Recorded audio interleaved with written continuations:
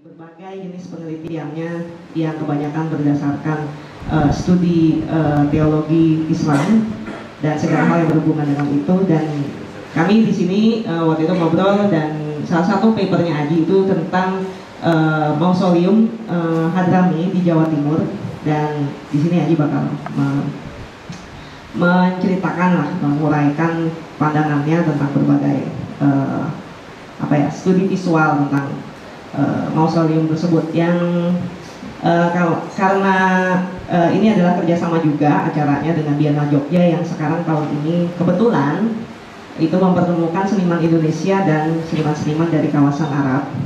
Uh, dan kami juga sangat terbuka dan sangat mengharapkan sekali berbagai pengetahuan serta pendalaman tentang uh, sejarah identitas dan keturunan Arab di Indonesia. Dan Aji kami pikir adalah salah satu uh, narasumber yang sangat penting serta uh, bisa berbagi banyak hal yang uh, signifikan tentang subjek tersebut.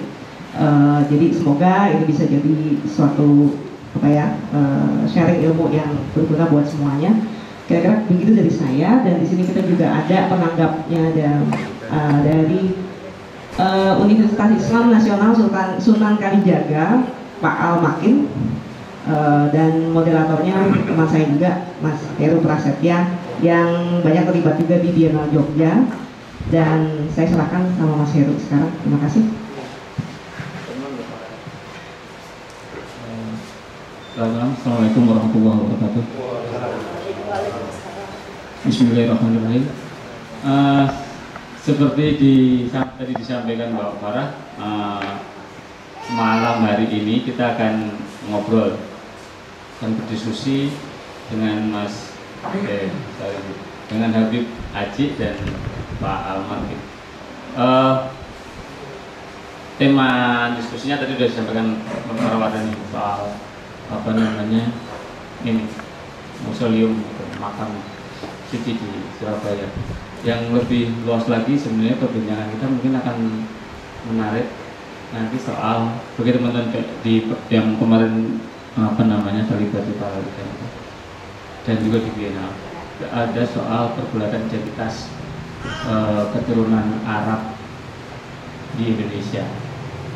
Itu e, menjadi per, perbincangan yang saya kira apa namanya uh, penting itu dalam konteks hubungan Arab dan Indonesia. Karena hubungan apa perjumpaan Arab dan Indonesia itu dimulai sejak jauh sebelum negara Indonesia ini berdiri ya. Uh, ada yang menyebut sekitar abad 9 atau abad 8 sudah ada perjumpaan. Nah, malam ini kita akan berdiskusi, akan mendengarkan pemaparan dari Habib Haji uh, paper ini kemudian nanti Pak Almakin menanggapinya uh, beberapa tanggapan kemudian teman-teman bisa uh, berdiskusi menyanggah menanyakan dan sebagainya. Uh, saya membacakan ini dulu deh. Apa namanya? Uh, view singkat Habib Haji Pak eh, Habib Haji ini lahir di Semarang 18 September 1983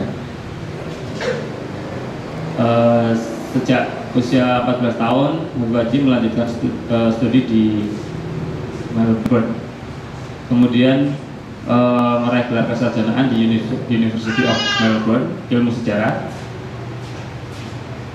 first class honor predikannya kemudian menyelesaikan program magister di National University Singapore sekarang sedang menempuh program doktoral di ilmu sejarah dan antropologi University Michigan. Uh, disertasinya soal sejarah ya. Terutama di kalangan uh, Habib Habaib atau lebih khusus lagi Habib Lutfi di Pekalongan. Uh, saat ini BPOJ sedang melakukan penelitian di Indonesia sebagai bagian dari IDRF. Ini IDRF kayak nama programnya juga. Ini, tapi kalau yang ini penelitian uh, social science research. Kemudian BPOJ juga dosen di dosen tamu di antropologi UI. dua buku sudah diterbitkan, diterbitkan Mizan dan Diwan. Satu berjudul Renungan Seorang Pemuda Muslim di Tengah Kemurungan. Yang kedua, Sungai Tak Bermuara, Risalah Konsep Ilmu dalam Islam. Uh, bisa di follow di at Ifalatas. Saya kira itu. Oh ya tadi disebut Habib Habib. Saya sejauh yang saya tahu Habib itu gelar kehormatan untuk uh, keturunan kanjeng Nabi uh, yang memahami ilmu-ilmu agama secara luas. Saya kira kalau secara singkat seperti itu. Nanti tanya aja langsung ke Habib Haji. Uh, itu dulu. Oh, Pak Almakin sudah dijelaskan tadi beliau adalah dosen di Universitas Islam Negeri Sunan Kalijaga. Saya kira itu nanti diskusinya saya di sini sebagai pemandu dan semoga bisa lancar, tenang dan tidak pakai siram-siraman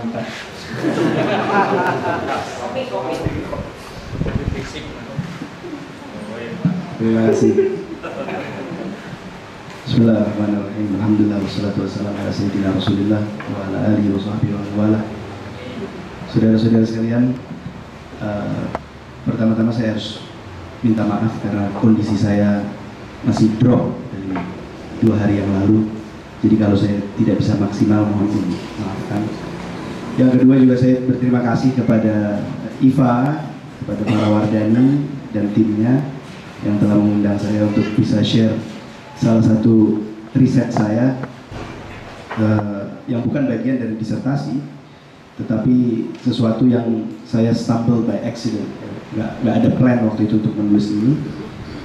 Dan ini riset ini bermula ketika saya melakukan uh, ziarah ke sebuah museum di kawasan Ampel, Ampel Gubah sekarang tempatnya itu namanya Ampel Gubah.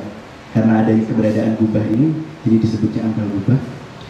Yang mana kita semua tahu baik uh, saya pribadi maupun masyarakat yang berziarah ke situ mereka tahunya ini adalah gubahnya Al Habib Muhammad bin Idrus Al Habsyi tapi kemudian kok pada saat saya melihat dengan runut nisan-nisan yang ada di situ ternyata itu gubah sudah ada sebelum Habib Muhammad bin Idrus al-Habsyi datang ke Jawa dari Hadramaut. Jadi ada sejarah yang yang dilupakan di Gubah ini yang kemudian itu menjadi subjek saya untuk untuk untuk uh, uh, menelusuri sejarah itu. Tetapi sebelum mulai saya ingin ada beberapa hal yang harus kita pahami dulu mengenai masyarakat Hadrami. Uh, orang-orang Arab di Indonesia ini uh, bisa dikatakan 98% berasal dari satu tempat di Yaman Selatan yang bernama Hadramaut. Uh, mereka seafaring people, mereka tidak tidak seperti orang-orang Arab yang lainnya, mereka lebih kultur mereka lebih dekat dengan uh, Samudra Hindia karena mereka hidup di uh, dekat uh, apa namanya uh, Arabian Sea, jadi mereka biasa berlayar ke Afrika Timur, ke India dan ke uh, Asia Tenggara. Nah, jadi kalau kita menggunakan kata hadrami yaitu siapa siapa saja yang berasal dari Hadramaut. Nah, tetapi di dalam uh, masyarakat Hadramaut itu juga dibagi. Ada yang disebut sebagai satu kabilah besar yang disebut sebagai Ba'alawi. Ba'alawi ini artinya anak cucu Alawi bin Ubaidillah. Alawi bin Ubaidillah ini adalah uh, salah satu dari cicit atau keturunan Nabi Shallallahu Alaihi Wasallam yang pindah ke Hadramaut sehingga anak cucunya disebut sebagai Ba'alawi. Nah mereka biasanya titelnya, titel yang aslinya itu untuk keturunan Nabi itu biasanya As-Sayyid As-Syarif. Selalu As-Sayyid. Makanya yang perempuan disebutnya Syarifah. Tetapi di Hadromut, di Hadromut mereka juga dipanggil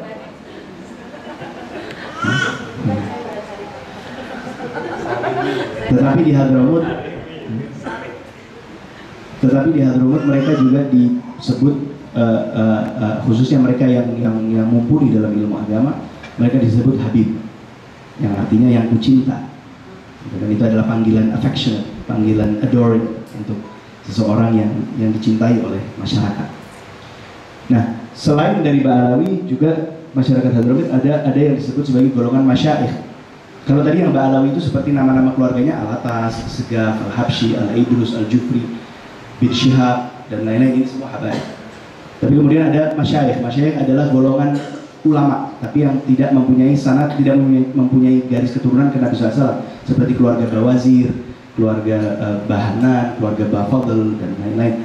Kemudian baru ada tribesmen, ada suku.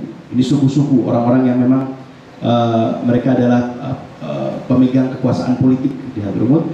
Kemudian baru ada kelas artisan, mereka yang pedagang-pedagang di bazar dan lain. Kemudian yang paling bawah adalah budak. Nah jadi ini kita harus tahu dulu istilah-istilah uh, uh, ini untuk kita bisa memahami. Ya? Seperti tadi sudah saya katakan, masyarakat Hadrami sudah berhijrah ke berbagai tempat di Samudra Hindia. Dan pada abad ke-18 misalnya, dan sebelum abad ke-19, biasanya orang-orang Hadrami yang datang dan berlayar itu hanya kaum Ba'alawi saja. Sedangkan yang non Ba'alawi itu baru turun ke Indonesia atau ke India atau ke East Africa setelah abad 19. Jadi kalau dulu dikatakan apakah ada diaspora Hadramut sebelum abad ke-19 jawabannya tidak. Yang ada adalah diaspora Ba'alawi.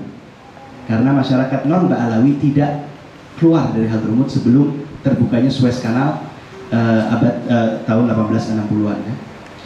Nah,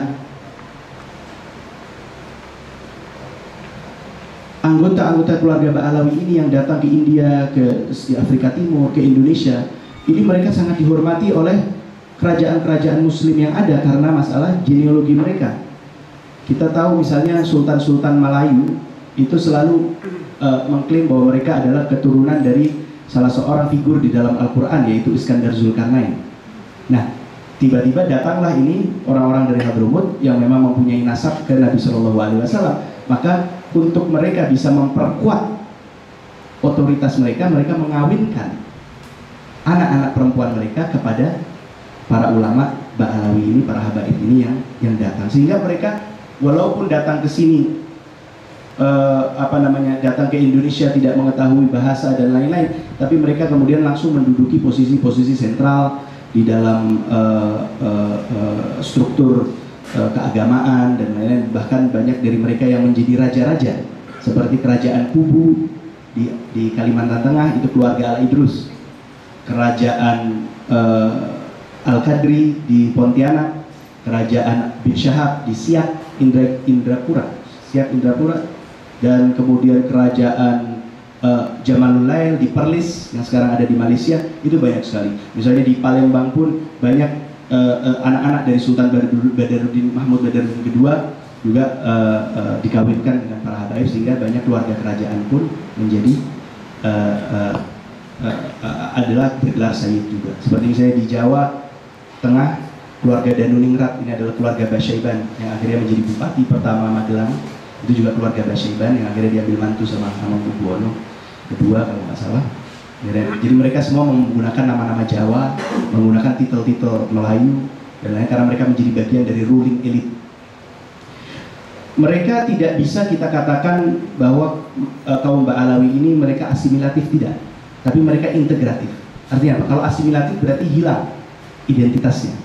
Tetapi justru mereka itu integratif. Karena apa? Mereka tidak mengawinkan anak perempuan mereka kepada non Ba'alawi. Sedangkan mereka mengawinkan anak-anak laki mereka dengan uh, uh, masyarakat di Indonesia. Sehingga apa? Mereka terintegrasi, tetapi yang namanya family name, ya, yang namanya nasab itu tetap terjaga.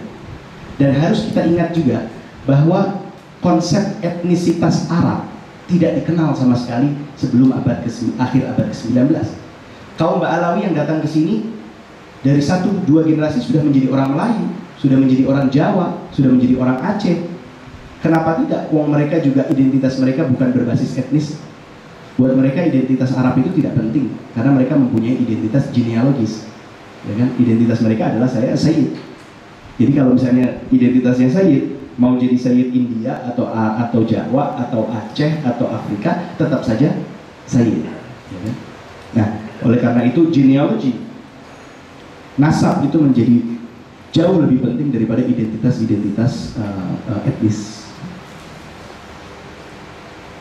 Oke, okay. kembali ke pokok permasalahan. Jadi ini tadi hanya sejarah singkat saja.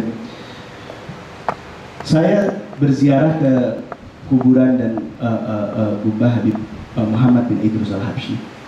Dan saya memang sering berziarah ke gubah-gubah tempat wali-wali uh, para habaib yang ada di Jawa. Tapi selalu gubah ini yang ada di Ampel di sebelah kanan ini kok sangat berbeda buat saya.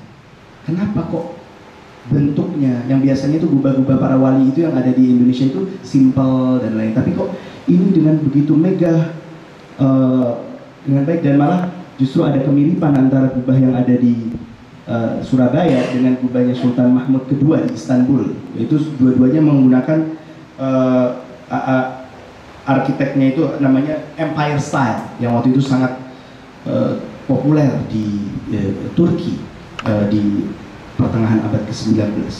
Dua-duanya berbentuk oktagon gubahnya uh, dan keduanya mempunyai open arches ya jendela-jendela besar seperti itu dengan uh, railing yang dekoratif uh, dan lain-lain dan ini sangat berbeda dengan kuburan-kuburan habaib yang ada di Indonesia yang biasanya cukup simpel.